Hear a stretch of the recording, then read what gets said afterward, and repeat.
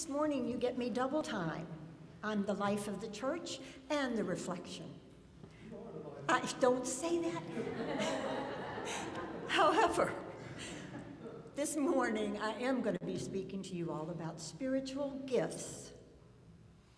This little light of mine, I'm going to let it shine, let it shine, let it shine, let it shine. Where do I let my little light shine? Do I even know what and where my little light is? And who is benefiting from it? We do not choose which gifts we will receive. God bestows, dispose, bestows them upon us through the work of the Holy Spirit. Through many sections of Scripture, we learn that all Christians have been given at least one spiritual gift. The purpose of spiritual gifts is twofold to unify Christians in their faith and to produce growth within the church, both numerical and spiritual. These gifts are to be used out of love for one another and in service to one another.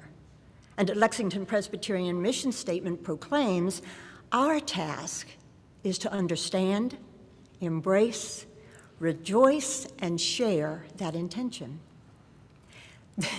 there have been many times in my life when I have found myself in a situation and asked God how I got there.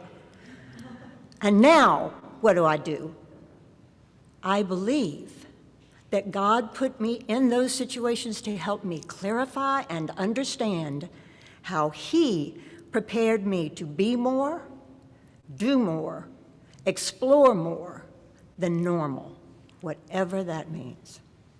And I continue to be amazed, thankful, and humbled by God's sense of humor in continuing to work with me. I ask you sincerely have you, each of you, ever given yourself the time and permission to reach deep inside to explore God's given gifts to you? These are not the skills that others have told us are important or that we're good at doing or that we think we ought to be doing. Are these God's given gifts? Hear this quote from the little book of Kitchen Table Wisdom by Rachel Remen, Doctor. What we believe about ourselves can sometimes hold us hostage. Sometimes all that's needed is a sense of possibility.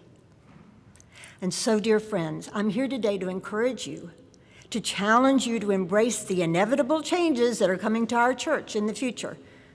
Also, to realize the exciting possibilities these changes can bring to our current congregation, to our new members, and to the community at large. I was asked the other day if people can change. My response is like death and taxes, change is inevitable.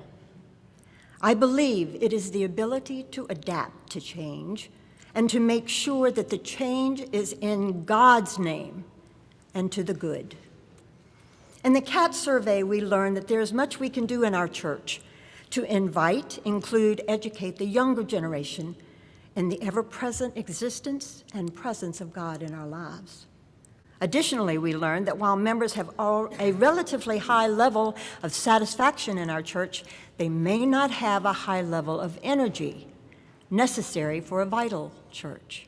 The top priorities we stated in all ages who took this were to make necessary changes to attract new families with children and youth, to provide more opportunities for Christian education and spiritual formation, to expand our outreach to the ministries to those living on the margin.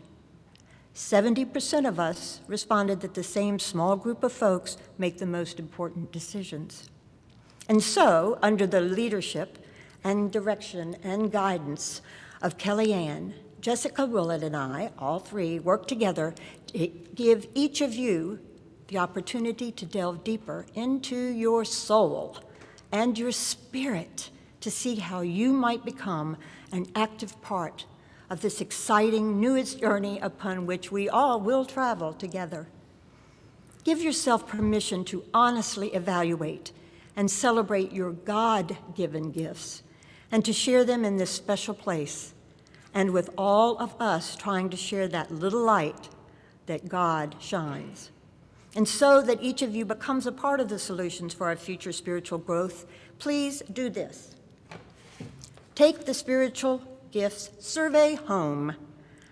Get yourself a glass or a cup of your favorite beverage and give yourselves 20 minutes, uninterrupted. I did it in 15, to focus on you. Be kind to yourselves and completely honest to answering these questions. No humility with God given talents. Who are you, really? We will be discussing this more in the coming weeks, and we will have a brunch August 22nd, always food, to discuss the questions, thoughts, concerns that you may have. We are all in this together.